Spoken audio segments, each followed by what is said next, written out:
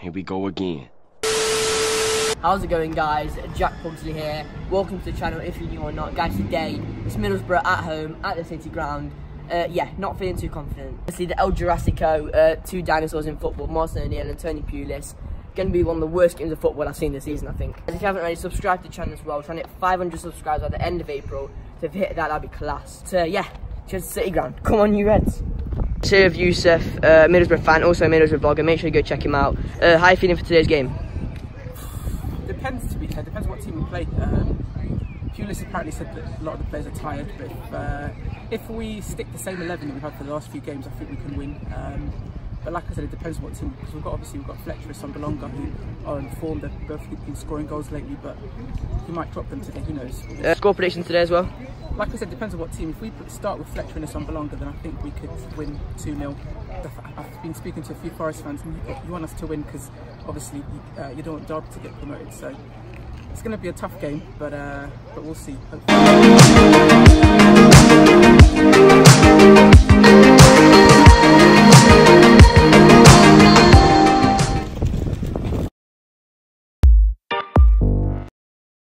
Alright, so we're Bennett. Bennett, how are you feeling for today? Uh, I'm not feeling too confident. Oh, why are you filming so low? How are you feeling for today? Uh, not too confident, to be honest. Our form's been pretty shit recently, so... Score prediction? 2-1 uh, to Borough. With Eve, a Forest fan. Eve, how are you feeling for today? Um, I'm feeling a bit nervous. I'm, I'm not, I'm not getting my hopes up today. Um, whatever will be, will be. Forest win or Middlesbrough win? I might say I don't want to jinx it by saying Forest wins. I might just say draw. A draw. That'd yeah. be good. That'd be good. Right. Thank you very much.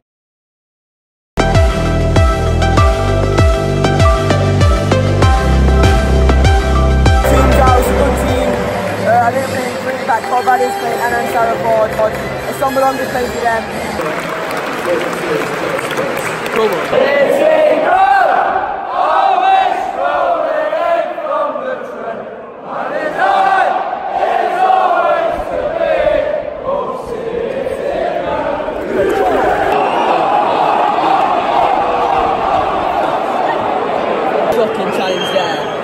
A red and Lolley's looking to be alive. Shocking chance, he didn't even get a card. Great chance there, the keeper saved it, Kuman Sarapov, we're getting really low first goal. Yeah, come in the way. Penalty, and Sarapov well. Oh, oh, come on. Yellow card, I think that's the right decision. Penalty, I think Lolley's going to take it as well. On. Golly scored it. He deserved it as well. Really bad team as well. Last time, these are so bad. One of the worst things I've seen in City Ground this season. I had one chance. I don't think I had a shot to be honest. We did really good. Penalty Joe Lolley. Let's get a really good half. Second half, you know, I think we can get three points. These are terrible. Uh, so yeah, come on, you guys.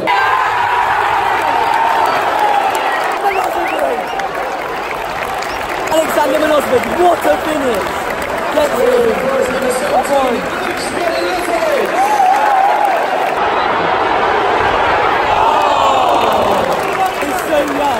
really good football. Middlesbrough terrible. Great chance there, he should have scored. Brilliant football. I'm so shocked. Is here. Cash. One. Two. Oh. Decent effort. Oh, should have scored. I love Osborn to get a goal as well.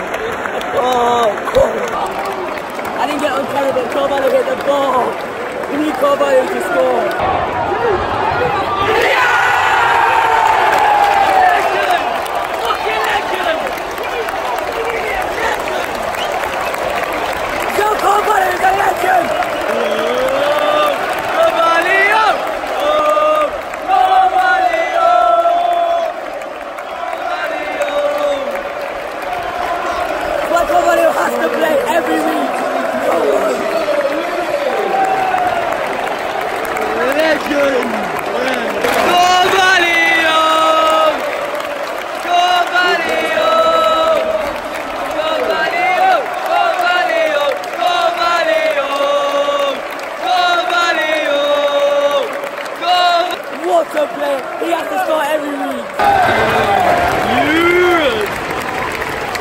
And Adam, lad, thoughts on that?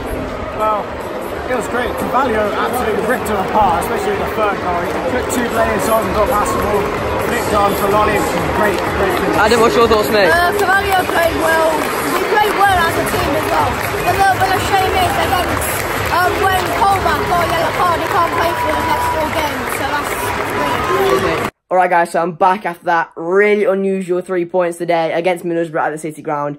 Uh, but yeah, João Carvalho, what a guy. But to be honest, Middlesbrough one of the worst team that I've seen, probably in my Forest supporting life. They were the worst team I've ever seen. They were so, so poor. They could barely string a pass together.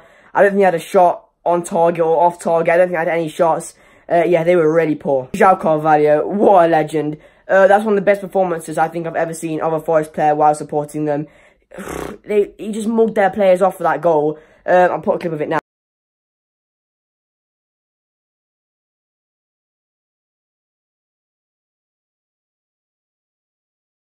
Here he is. He's made Martin O'Neill look like a proper mug. But it's really annoying because if if O'Neill did play Karim, Karim Ansarifard was brilliant. But if O'Neill did play Lolley, Grabban Karim, Carvalho, could you imagine where we'd be now? That's what's really frustrating. A lot of you do know that I am O'Neill out. I'm not going to change my mind. I think that what happened today was because of Carvalho uh, and the fact that Middlesbrough was so, so credit due to Forest. Uh, so insane today. I can't believe what I watched. We should have had more. We should have had about six or seven. Uh, so yeah, what a win. Guys, if you have enjoyed this video, please drop a like. It's really appreciated. Subscribe if you're new. Uh, trying to hit 500 subscribers by the end of April. So if you hit that, that'd be mint. So yeah, review out tomorrow. Uh, but yeah, thanks for watching and I'll see you very soon. Forest Lie Die. What was that?